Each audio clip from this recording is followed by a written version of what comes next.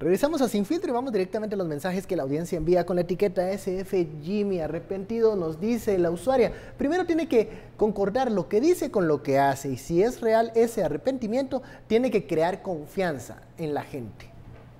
Siguiente mensaje, Juan Carlos nos dice SF Jimmy arrepentido, me parece que los que votaron por FCN Nación están más arrepentidos que él. ¿Estarán arrepentidos o habrá tiempo para enmendar eso? Rafael nos dice, el problema no es de comunicación, es de liderazgo, capacidad y gestión. SF Jimmy arrepentido. Si lo que Rafael dice es cierto, bueno, el trabajo es arduo entonces. Eh, Estuardo se quedó con la palabra. Las declaraciones de Sammy Morales, él dice que no es factor de desgaste, no deja claro si participa o no de las reuniones de gabinete. Mira, nosotros vimos en Latinoamérica el modelo de los gobiernos conyugales. Eh, Colón fue un, gobierno conyugal, o sea, él era el presidente electo, pero la esposa era la que mandaba. Argentina tuvo el mismo caso, era Con los Kirchner y, eh, Nicaragua, Nicaragua, y mira cómo está este Nicaragua. Entonces son los gobiernos conyugales. Eso lo habíamos inaugurado nosotros con Colombia Asociados. Ya se había visto posiblemente en el peronismo, habíamos visto eso en Argentina pero no habíamos visto lo, que yo denominé en un artículo hace como un año los gobiernos fraternales. Y los gobiernos fraternales es que, y eso hay que ir un poco a la psicología para entender esto, es cuando un hermano quiere algo, pero pone al otro a hacer lo que él quiere digamos que es, es, en, eh, eh, es una especie como de Caín y Abel, es como esa mitología. Hay un facilitador y uno... Y todas las mitologías tenemos esos hermanos que entran en competencia, hasta la misma mitología maya lo tiene, ¿verdad? Eh, una push balanqué. Entonces, ¿quién realmente quiere ser presidente? Y cuando analizas realmente el que quiere ser presidente es Sammy, no Jimmy. Pero el que tiene las cualidades, el que tiene la presencia pública es Jimmy. Entonces, la alianza es lógica. Vos llegás al poder y desde, desde mi posición y desde donde he estado, se manda. Pero, oh sorpresa, venían cosas desde el 2012, por ejemplo, estos de las facturas y todos esos casos, que entonces debilitan al, otro. Y si, te, y si te, percataste, hace 20 años las empresas fueron juntos, fueron de hermanos, fueron de familia. Entonces, el nepotismo, nosotros estando en una sociedad nepótica, digamos, es, no, no es, es, algo que no queremos, ni compadrazgo ni nepotismo. Pero ya en el Pero se da.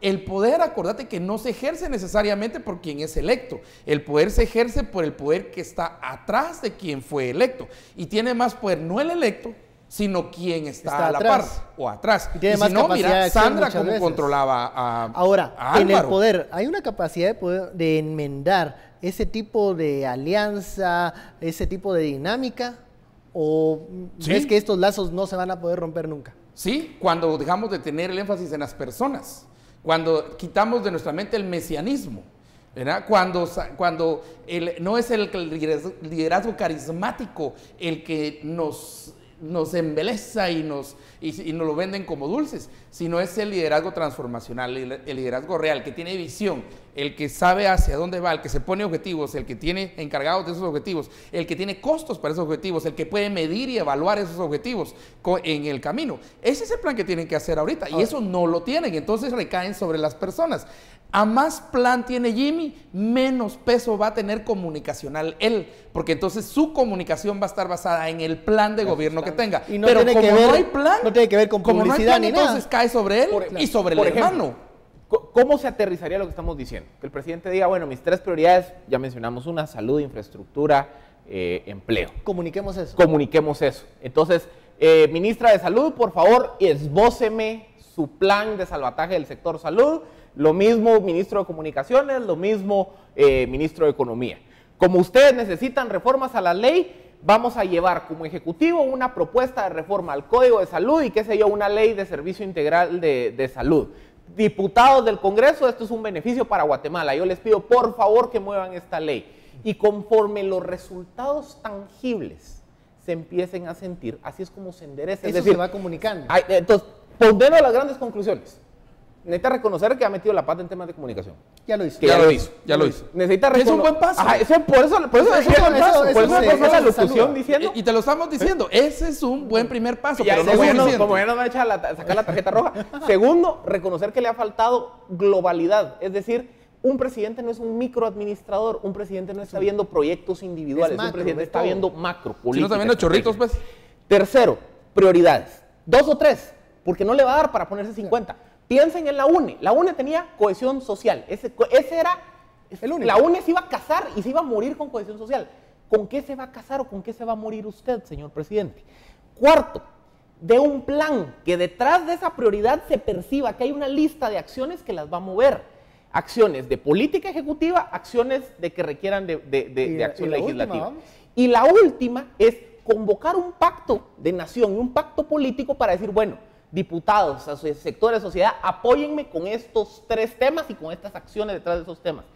Y con eso, el gobierno arranca y se encarrila, que es lo que creo que le ha faltado. Ok, bueno, hemos terminado llegamos a los 30 minutos de análisis. Muchísimas gracias, Estuardo. Philip, vamos a estar pendientes de qué pasa con este nuevo rumbo, si es que Vos siguen llevamos nueve meses, hombre. Tan, tan, o sea, tan bien, hombre. ya, ya nueve meses que, Ya, que- ya, ya, que dé a luz el sí, gobierno hombre. algo. Se le dijo hace diez meses, hombre. Bueno, pero estamos. Muchísimas gracias por su preferencia. Estuvo Sin Filtro. Nos vemos mañana. Feliz noche.